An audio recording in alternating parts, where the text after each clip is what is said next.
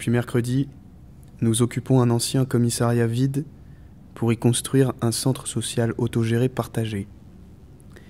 Par cette action, nous souhaitons redonner de la voix, de la visibilité et de l'énergie à nos combats de quartier sur le logement et contre toutes les formes de domination économique, sexiste, raciste, homophobe, cisgenré, validiste, policière.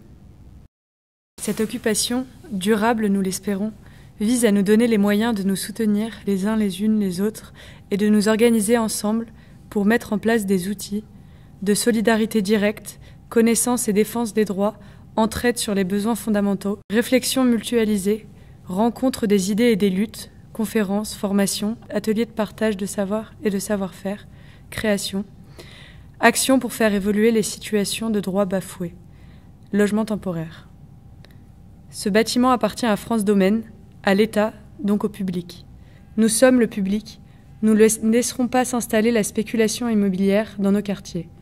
Nous occupons cet espace pour en faire un lieu de convergence à vocation collective et populaire et pour éviter que les rapaces du business de l'immobilier complices des autorités publiques, États, municipalités, viennent encore une fois s'engraisser sur le dos des populations précarisées. Transformons ce lieu de répression en un espace d'émancipation. Les occupantes et occupants.